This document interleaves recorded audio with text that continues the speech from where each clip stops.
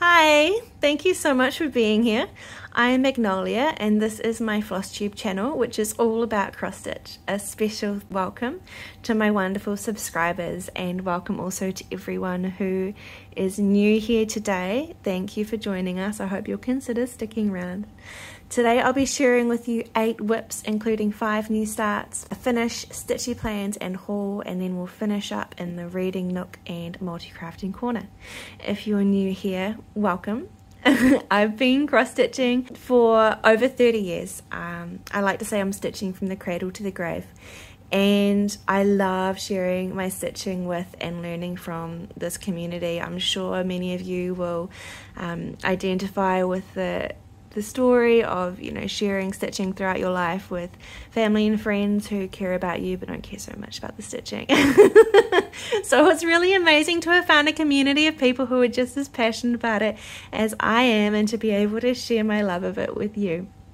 Uh, you can also find me on Instagram as the Traveling Stitcher, and I'm here both on FlossTube and Etsy as Magnolia Nest Designs. I hope you'll enjoy this video and consider subscribing. And today is Sunday, the 10th of March 2024. It's been over a month and a half since my last video um, because my home's been running on generator power for most of that time, so it's just been too loud to film. Um, but that does mean I have a lot to share with you today. So let's jump straight into WIPs, shall we? January and February had a winter theme, but I did stitch on Shores of Hawk Run Hollow, which you can see here, um, because I'm hoping to finish this this year, which is going to be a tall order because it's a BAP, but we'll see what we can do. Um, so this was designed by Kathy Barrick as Carriage House Sampling and I'll pop a picture of how it's meant to look. Um, if you have seen me stitching it before you'll know that I'm modifying it heavily to be a memorial piece uh, for the men in my family who were lost at sea and I say men not because I'm excluding any other gender but because uh, fortunately, um, to my knowledge, and I do have to have that caveat because I am a genealogist and there's always the chance I'll find someone new. Um, but to my knowledge, no woman in my family have been lost at sea. There was one who died at sea um, on a boat between England and Canada back in the 1800s, and was buried at sea, um, but um, it's a little bit different. So I haven't charted her onto this. That might change. we'll see. Watch this face. Anyway, um, I've been inspired to keep stitching on this by seeing so many other stitches working on it. Um, people I've seen working on it recently include Quirks and Stitches, Georgia Girl Stitching, Pumpkin Hollow Quilts, and Socks for Mum. And there's so many more. Um, I love seeing everyone's different takes on it and the way it's being uh, adapted or floss choices. Everyone's looks unique to them, and I absolutely love that. Um, so I'll pop up here a quick before. The last time I shared this, I just finished my first block, which was this one here. Uh, which was a, an amalgam of two separate blocks that were squished together and I added this text myself. Um, and this month and a bit I have been working on this block here. I had the border before but I hadn't filled it in at all. So this is the big blue house. I'm super excited about it. Now on this uh, this piece I'm stitching on 18 count vintage country mocha. Um, I started doing two over one which you can see here and I am a uh, completely cover the grid girly. I don't like seeing the fabric through my stitches. I want full, full, full, full, full coverage. And 2 over 1 on 18 count gives me that. But I tried 1 over 1 for the first time uh, while working on this, on 18 count that is, and absolutely loved it. It was so fun, it was so easy, my stitches laid flawlessly with no effort whatsoever. Um, and so I I didn't want to go back to two over one. So in this block here, um, which I've started, I've got Sergeant Raymond Going, who was uh, one of my relatives who was lost at sea during the Second World War, where he was a uh, airplane pilot. I used one over one for the background behind that boat, and I feel like it really makes it pop. You can see the fabric through it, but because it's not like white and a dark color, like they're both kind of tone on tone, um, I feel like it's beautiful, and that doesn't bother me at all to my surprise. So now I'm in this conundrum what do I do? and so this one, all the stitching you see in here, except for um, the flowers and leaves and the fence, everything else is one strand, and those items I just pointed out are two strands. And I'm going to do this one being a mix of one and two strands, which will give it some nice dimension, make things pop out and I haven't decided, and I guess that's okay, I've got some time, but I haven't decided for the next blocks. Am I going to do uh, one strand and I'm going to use two? I was thinking last night, so this block here is entirely two strands. This one's a mixture of one and two, as is this one. I could have that be like a fade, so two strands, two and one, and then just one for the rest, and just run with it that way.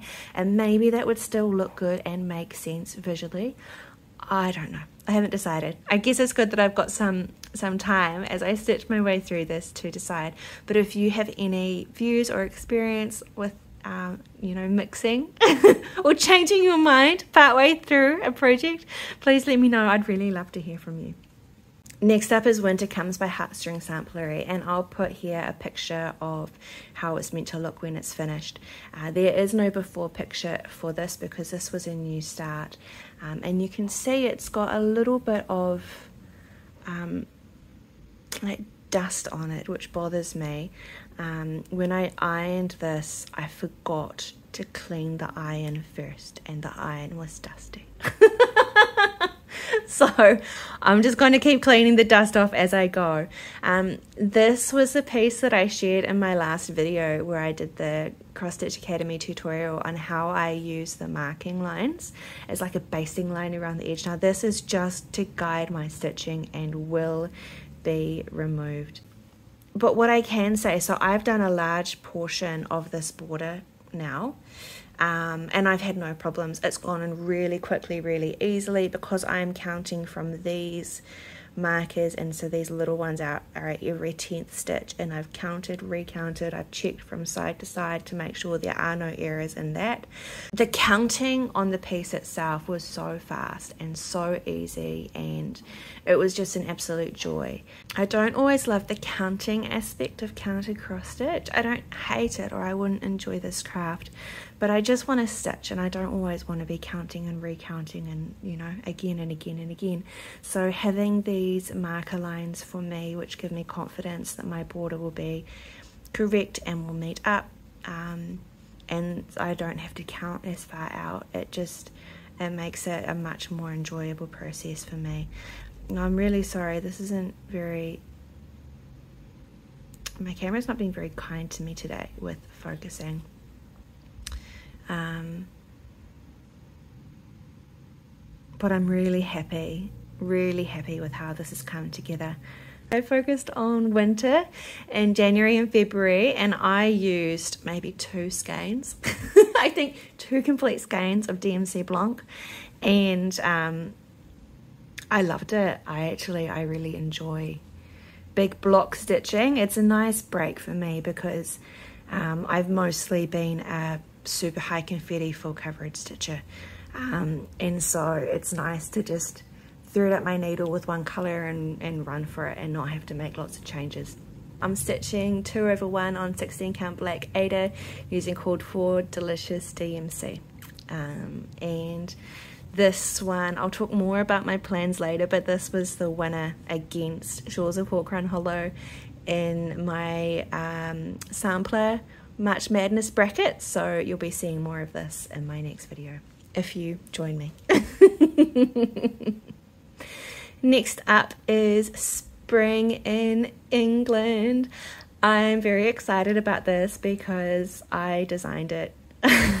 um, so I'm always going to be a stitcher who mostly stitches work of other designers just because I love them so much. But I, I started designing myself in 2021 uh, inspired by the the FlossTube videos of Annie the proper stitcher and I haven't put out much in the last couple of years. I went through a bit of a dry spell.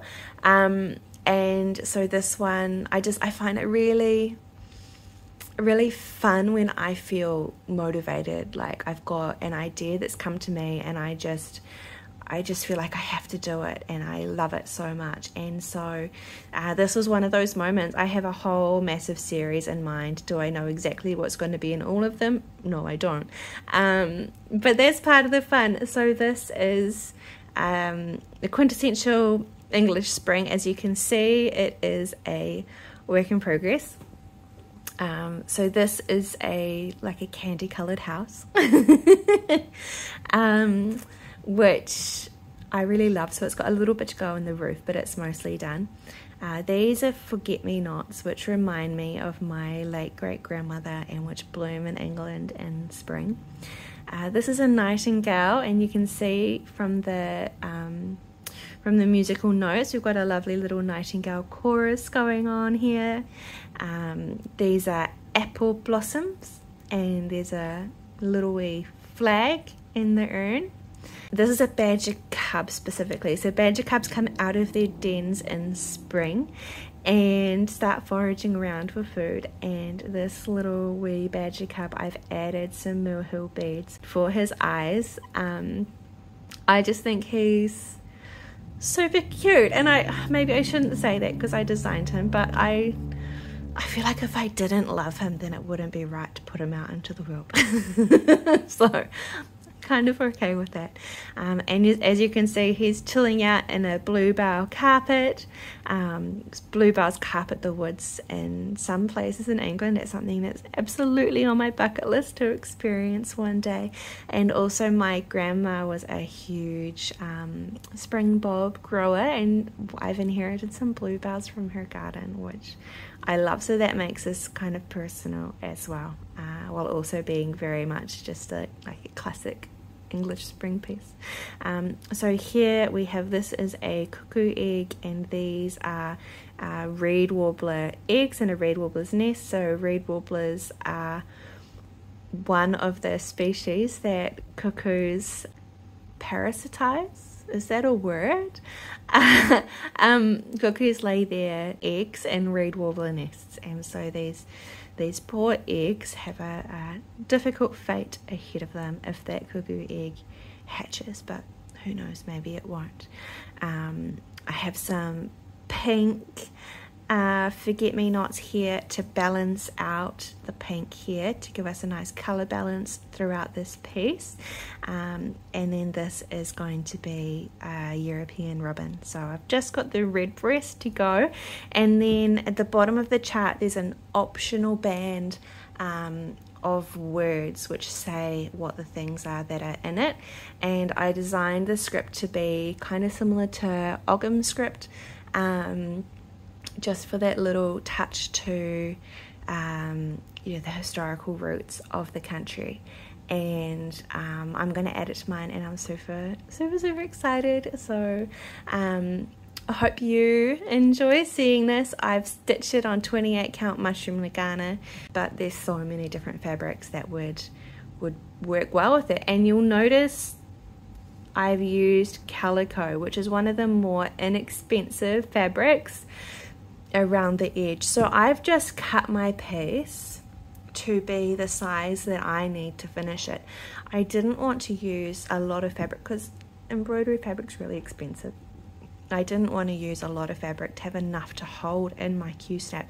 So I've just used this inexpensive calico, which I've had for about 10 15 years, um, sewed it on, and I'm holding it perfectly in here. It also means I don't need a grime guard because I'm not actually holding my hand on my fabric at any point.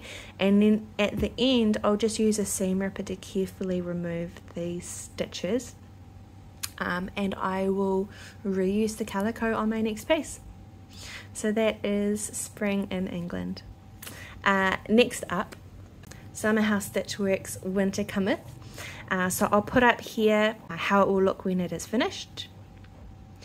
and before you saw this in my last video. So this is a design which I absolutely love as part of a seasonal series and I finished Autumn Provides late last year so now I'm stitching winter and you'll see I've made a lot of progress since the last time. Um, I'm stitching this on 18 count opalescent Aida in hand, one over one using the cold full floss, and I absolutely love it. Now I have retarded the words. This isn't th. um, it's meant to say winter cometh, and I love the word cometh. Um, but to me, whenever I see it, I think of Game of Thrones, and I just. I didn't want that to be the thing that I thought of when I saw this in my home, so I've eventually decided that I would change that last word. Um, and so I'll be sharing what that is as I stitch it. But here's a Here's a bit of a close up. I, I think this is a really, really, really fun piece. Sorry about the lighting. We've got an overcast day here today, but also I have green mesh on the windows. It means I can have my windows open at night and the mozzies don't come in, um, but it gives a faint tint to my photos when I take them inside during the day and I guess in this case possibly to my video too. Apologies if that is the case. Uh, next up is Jangle from the Snowbell series by Mill Hill. So this was another new start last month for my winter theme.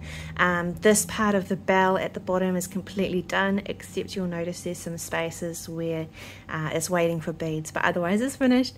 Um, I'm using the kit floss and 14 count plastic canvas which I love stitching on for my Mill Hill ornaments um, as a perforated paper substitute. Uh, next up we've got two Prairie Schoolers. This one is Prairie Seasons Summer. Um, this is a gift for my mum. I stitched her two of them last year and I've just got a wee little start. I'm stitching this in hand as well which I adore stitching in hand. It's just so much fun. I don't have to sit at a floor stand. I can just curl up in a little corner in the couch or the armchair or my bed, wherever I am. Um, and it's so portable and fun. Um, this is 14 count coffee tea dyed Aida. Um, I use the Priscilla and Chelsea method and I'm using the Called for Delicious DMC. Um, you'll see from the before that I had only a teeny weeny weeny little start on this, um, so I'm really happy that you can see a bit more of the design coming in now. Another Prairie Schooler. This is the 11th day of Christmas from the 12 Days of Christmas series. Um, it's another new start. I have stitching him on 32 count light blue Lugana and I'm using my own conversion of Delicious DMC to be jewel tones. Um, I did that because I started stitching this series when my sons were very young and they really liked bright colours. Uh, and I wasn't as much into the prim aesthetic as I am now, but I still think they're really lovely, and so I'll just display them all together. Um, as a set and maybe put something vintagey near them so it, it ties them in with my other more prim uh, items in my decor. And my final WIP to share with you uh, is another Mill Hill. This is Cozy Christmas Santa, which was designed for Mill Hill by Jim Shore. This was a gift for me from a dear friend, which was so incredibly generous and kind of her. Um, I stitched most of this yesterday actually um, as part of March Madness, which I'll talk more about soon. And I've actually finished his skirt. Can you believe it? There are so many holes in there, and this will be full coverage when it's done. Um, but every single cross stitch is done. So all of those enormous number of stitches are beads. it's going to take a long time because most of them are petite beads, so they will require a full cross. But, you know, it's going to be great. It's going to be fun. I'll love it. and it will look fantastic when it's done.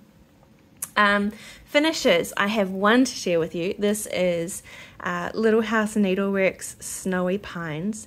Um, I'll put up a before picture here. So this was one that was a new start in my last video and I had had an absolute blast stitching him. I adore bears. Uh, this has been on my list of things I wanted to stitch and own for a really long time but I just I have a lot of really huge pieces and I've been really focused on achieving them. And so I just, I haven't allowed myself to start so many of those things. Um, and so this time I just decided, no, I'm doing it. and I, I absolutely loved every stitch. Um, you'll notice this is a really small margin. Um, I'm going to finish it as a little pillow, uh, which I'll put up in a, a dough bowl, probably in um, the library I plan to build. I don't have one yet. um, I'm currently filming in my stitching room, um, which is quite a small room, and it has four bookcases in it, and they are full. and I have a lot more books in storage. Um, I own well over 600 books, and so um, in my own home, I eventually want to build, um, you know, floor to ceiling audible bookcases to, to make my own little library. And so I'm looking ahead to what kind of um, decor I want to be in there. I want to stitch a lot of literature themed pieces and I want um, little seasonal smalls that I can decorate with as well. So this is the start of that journey.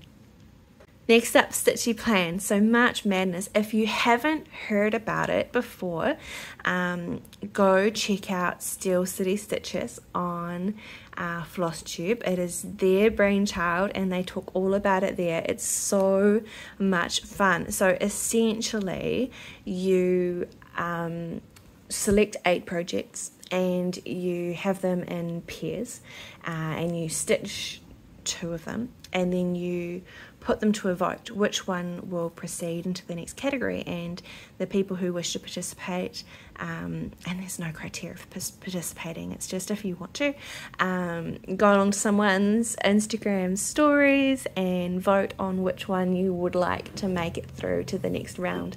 And um, I'm doing it for the first time this year and I'm super, super, super excited about it. So, my first um, category was samplers. Um, so that was the two that I've already shared with you, and Winter Comes one.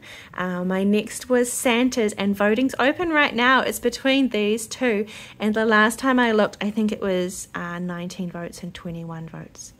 So who knows who will win? I have absolutely no idea.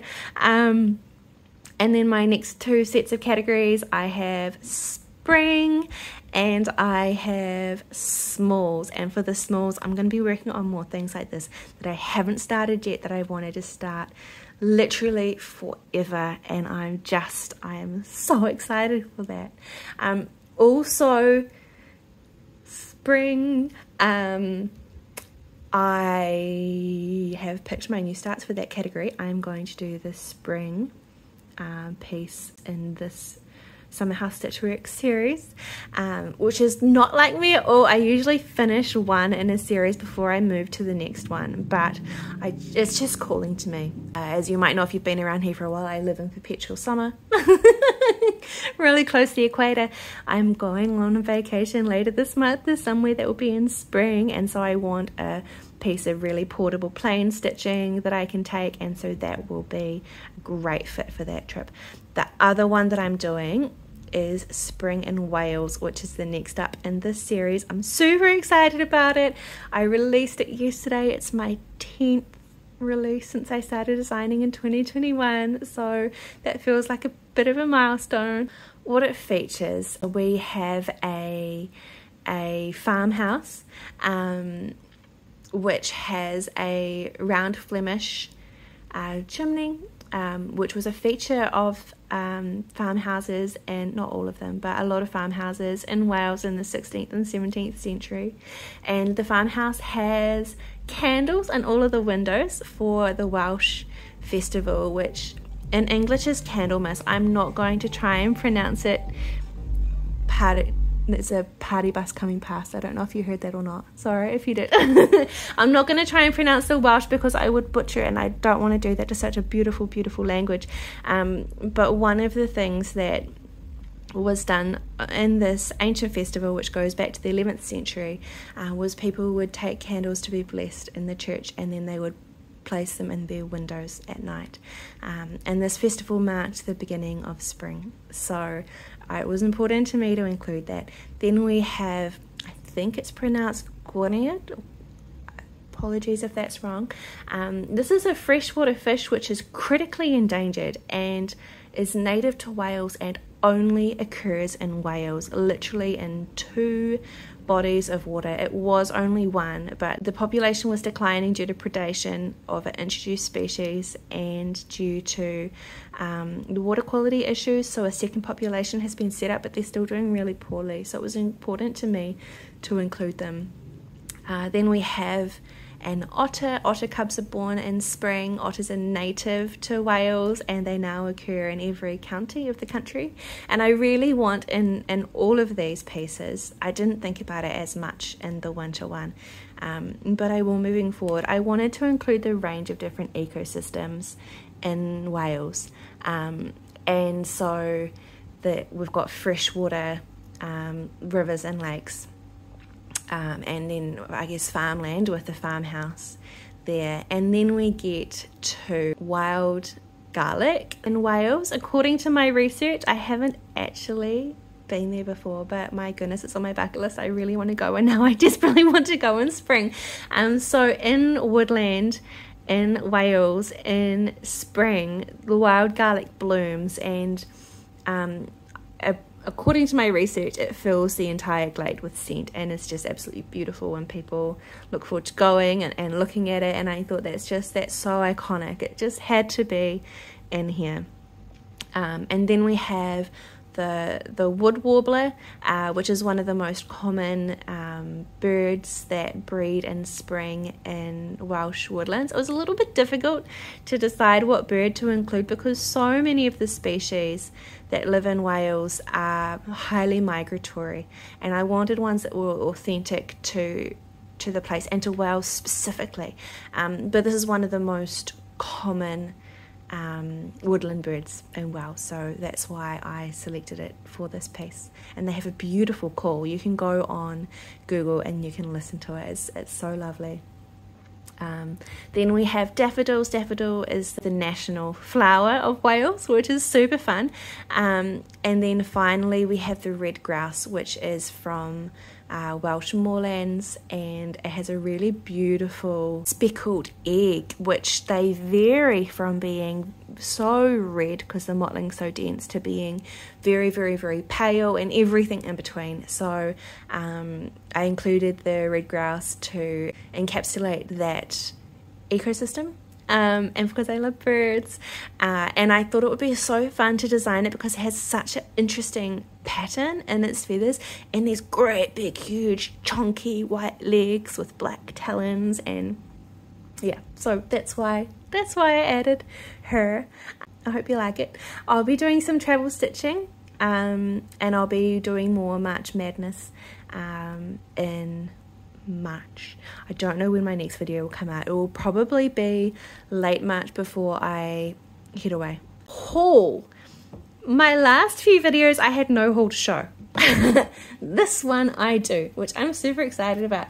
I've made a couple of purchases. Um, so, this is 36 count. Uh, agave Edinburgh linens. I prefer even weave to linen because I just I I like the the lack of slubs basically. And this is so fine. I don't know how I'm going to stitch on it. but even though I have never stitched 36 count before, um, I just had to buy it because this color is to die for. And I wish I could stitch them together. Look at this. It's just, yeah. So stoked with that. Um, this is 32 count anthracite Lugana. Um, again, just a small piece, but look at that color. Stunning. And I have 32 count antique white Jobelan. And I've bought this to go with this kit Welcome Friends by Joan Elliott. Um, I I am an Aida stitcher, as you've seen. Almost every single thing you have seen today has been on Aida. And I love Aida because it's so fast, so easy, it's so much cheaper. Um, and when you're looking at it across the room, I feel like the effect is just as good. Um, but there are some things that I would just prefer to stitch on an even weave or linen, and that's generally when there's a large amount of background that will be visible afterwards. Now, the this one here, you can see a lot of background, and so I stitched it on Lugana on my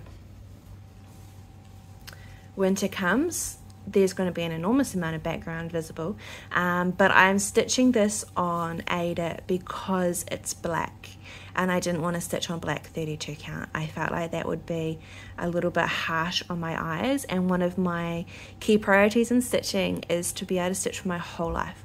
And so I don't ever want to do anything that gives me eye strain at all because uh, while the piece might be stunning it's not sustainable over the next you know, hopefully another five decades of stitching. Um, so that's why I made that decision. Um, but for this one here, there's so much white, and you can see even when it's printed up really small compared to how big it will be, you can really see the gaps in the fabric. Um, so I decided that for this one, I wanted to stitch it on an even weave. I'm really happy with that. Um, fabric that came to me. This is the, please excuse the glare, this is the, the threads. And looking at them in person, I really like them but they're not quite as much my colours as I thought they would be. So I might mix it up a little bit. Um, but this design I just I love it so much. Um, this is Irish um, and I really want it to go in the library that doesn't exist yet. Which I just described to you as like the centerpiece of my wall that's full of stitching, and um, I collect a lot of art. Um, and I take a lot of pictures when I travel, so I want it to be a mixture of all of those things, but with this as the, the middle piece. So I don't know when I'm going to start stitching it. I would like it to be right away, but I'm going to do this on my floor stand so I can stitch two-handed, and so I just need to wait for it to become available because I only have one. I only have one set of hands, so that's perfectly fine. Um, and then the last new purchase is this fine line disappearing ink pen. Uh, Handwork Maniac recently talked in one of her videos about how she uses a disappearing ink pen to mark grids on her very, very large full coverage pieces um, to help with stitching them. And I'm working on quite a number now that are not on gridded fabric. And so I messaged her and I asked if she could give me the exact recommendation of which one she uses because my worst scenario would be to, to use one and then it doesn't actually disappear. So I'd rather use one that's tried and tested by someone whose work I really respect and this is the one that she recommended to me. So I'm super excited to have it. A couple of little little extras. Uh, so the first is the reading nook. I am an avid reader. I have read 29 books this year already. And I think it's what, the 10th of March? That's pretty ridiculous, um, even by my standards. And a lot of them, like this, are, are thick chunky books. Um, I think my longest one was 964 pages, but there have been a lot that are around the 700 page mark, and that has definitely had an impact on my stitching time. but I've just been loving it, and I set myself a goal of because I've separated I've separated my books, so I have a bookcase that's full of books that I have read, and the other three are books books that I have not yet read. Um, and I set myself a goal of in my bookcase of books I have read to have an entire shelf of books that have pink and red spines. I do organize my books by spine color, um, but I know them so well that I can still find them instantly. Um, I don't need to be looking them up by author to be able to do that. So I'm very comfortable with that decision, and I, I love the aesthetic as well. I'm two books away from achieving that goal. Um, and I will say, full disclosure, this bookcase has four shelves. The first one is reference books like cookbooks, gardening books, that sort of thing. Um, so only three of the four shelves I'm filling, and it's not quite full yet. I created space by stacking some of them on top of one of my bookcases. Anyway, enough about that. This is five star, easily. I read it in just a few days because I, I struggled to put it down. Um, it is about Celtic Scotland, Wales, and England. It's about um, people who lived in that time, including Cartimandua, who was the Queen of the North, and it tells the story of her life as historical fiction in great detail. It also tells the story of the lives of um, two Scottish historians and one English playwright and how they intersect uh, despite 2,000 years separating them. And it was just absolutely fascinating. I didn't know what was going to come next, and I would highly recommend this book um, to anyone. I really hope, um, if you decide to check it out, that you would enjoy it. Um, multi-crafting corner. So I put this section in to encourage me to not just stitch but to focus on my other crafts as well. Last time I shared with you this I can't get it all in a frame uh, this throw blanket that I'm doing and I had done maybe this much of the white and now I've added a whole extra ball of white which is super exciting. Um, really really happy with it. I want to sew some like project folders. I don't have anything like that. It would be really fun to have a couple for my upcoming trip so maybe I'll have some of them to share with you next episode. We'll see. See where we go. Um, Cross Stitch Academy is something I've shared in all my videos to date. I'm not going to do that today because I've decided it might be easier to have them separate so they're an easy reference video you can go back to if if you're interested in doing that without needing to like scroll back through stuff you've already watched. So I'm hoping to um, film one in the next couple of weeks depending on how busy work and travel planning keeps me. I'll let you know how I go. And it looks like we're getting close to a 1000 follower giveaway. So if you enjoyed this video and haven't subscribed, please consider doing so.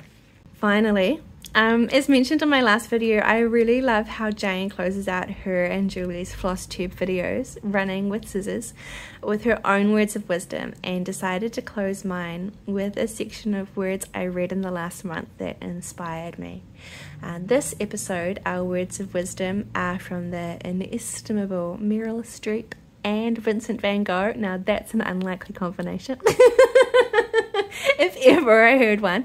Um, but I really loved what they had to say. So the quote I read from Meryl is, what makes you different or weird, that's your strength. And from Vincent van Gogh, normality is a paved road.